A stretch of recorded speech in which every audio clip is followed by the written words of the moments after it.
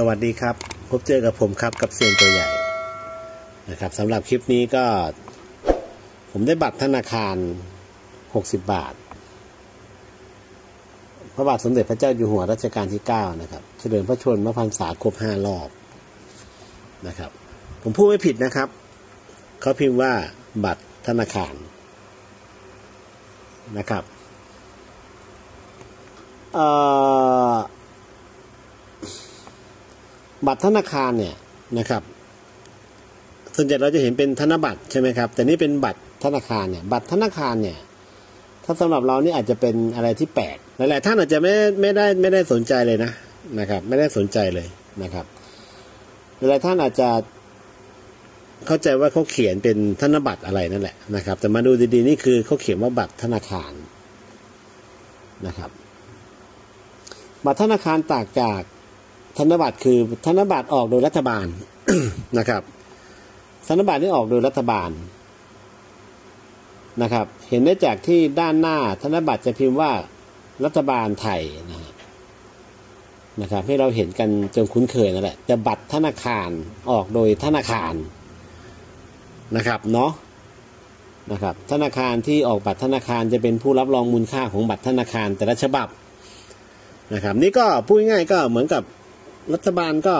รับรองให้นั่นแหละนะครับ แต่นี่ออกโดยธนาคารธนาคาร แห่งประเทศไทยนั่นแหละนะครับเนาะแล้วก็เป็นการพิมพ์ เป็นการพิมพ์ครั้งแรกเลยนะครับ เป็นการพิมพ์ครั้งแรกนะครับ ของธนาคารแห่งประเทศไทย นะครับ ออกแบบเองอะไรเองนะครับ แต่คนก็ไม่ค่อยจะนิยมใช้หรอก เพราะว่าใหญ่นะครับ ส่วนใหญ่จะก็จะเก็บเป็นที่ระลึกนะครับ ส่วนใหญ่ก็จะเก็บเป็นที่ระลึกนะครับ ก็จริงๆ แล้วเขาเขาทำออกมาเนี่ย คือจะให้ใช้ได้ให้หมุนเวียนได้อะไรประมาณนั้นแหละนะครับ ก็เมื่อปีอะไรนะ ปีสามศูนย์นะครับ เมื่อปีสามศูนย์นะฮะ ก็เริ่มแรกออกมาเดิมทีก็จะมีซองใสเลยนะนะครับ จะมีซองใสด้วยนะครับ บัตรเอ่อบาทหกสิบบาทนะครับ แล้วก็ซองอีกนะครับนะครับบัตรธนาคารหกสิบบาท หากรวมซองมันจุด้วยก็จะเป็นร้อยี่สิบาทอะไรประมาณเนี่ยนะครับ แต่ช่วงหลังก็ไม่มีนะครับ ส่วนใหญ่ก็เป็นที่เก็บเป็นที่ระลึกมากกว่า ไม่ค่อยเอามาใช้กัน เนื่องจากว่าค่อนข้างที่จะ ส่กระเป๋ายากเนาะก็ต้องพับทบนะครับ บางทีก็ทำให้ไม่กล้าใช้อะไรประมาณเนี้ยนะครับ ผมได้มาพร้อมซองซองเนี้ยนะครับซองแผ่นเนี้ยแผ่นชีสเนี่ยผมได้มาทั้งหมดอยู่สามแผ่นนะครับ ผมได้มาทั้งหมดอยู่สามแผ่นหนึ่งสองสามนี่นะครับ ก็เล่นหากันผมก็เห็นเขาเล่นหากันก็หลายร้อยอยู่เหมือนกันนะ นะครับ ก็หก็เห็นเล่นหากันหลายร้อยอยู่เหมือนกัน แต่ก็แล้วแต่ละครับ แล้วแต่จังหวะ แล้วแต่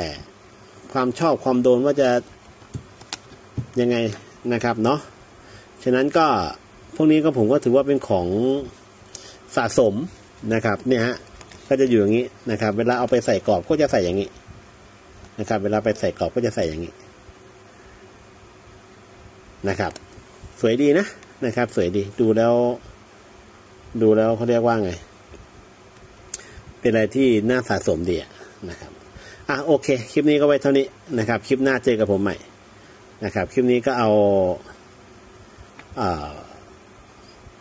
แบงค์หกสิบาทไม่ให้ชมนะครับแบงค์หกสิบาทไม่ให้ชมนะครับ